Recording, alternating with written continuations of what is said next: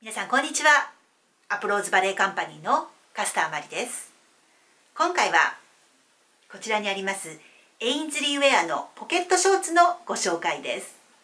はい。こちらはこのポケットの部分にこの渦を巻いたような柄の入ったメッシュ素材が使われています、はい、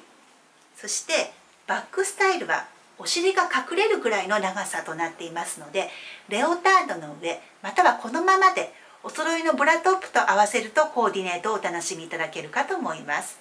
サイトの方をどうぞご覧になってみてください。